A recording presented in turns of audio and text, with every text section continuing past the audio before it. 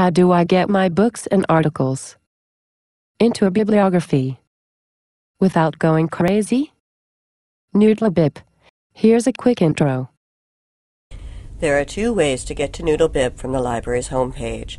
Under Quick Links, you can access it via databases by name. A quicker way is to click on Citing Sources under Find Information.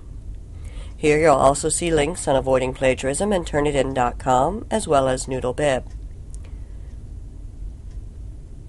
The first time you go to Noodlebib, you'll need to create a personal ID. When you've done so, you'll be able to log into Noodlebib from anywhere by going directly to www.noodletools.com.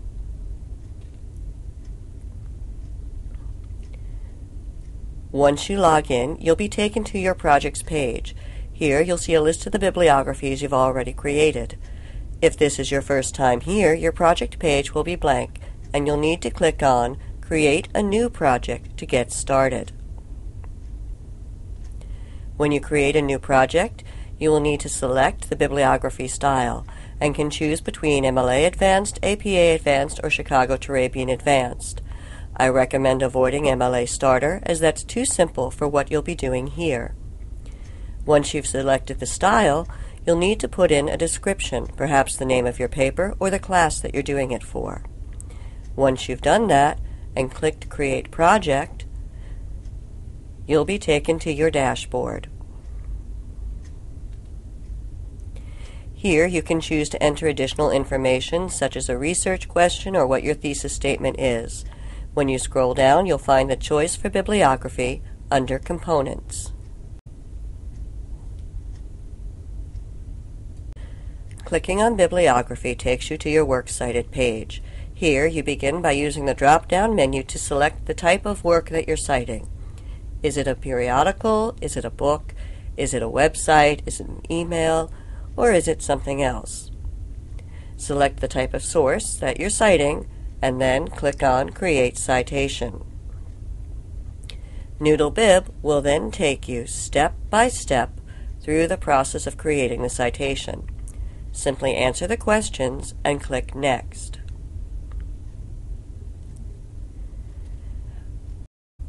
If your article came from a database, be sure to choose online as the medium. Print versus online citations differ slightly. After you have finished answering the questions about the type of source and medium, you'll be taken to where you can enter the bibliographic information.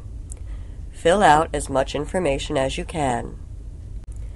Underneath the citation, there's a place to include an annotation, a brief evaluative summary of your source. Before you generate your citation, you want to make sure that you check for errors. Noodlebib will then check your capitalization and punctuation and tell you if there are mistakes for you to fix. Once you have fixed your errors, then you can generate your citation.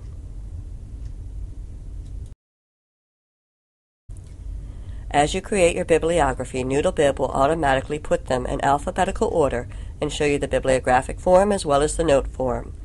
Once your bibliography is complete, you can choose to go to Print or Export you can export to Word or to Google Docs. You can also share your bibliography with classmates or your professor.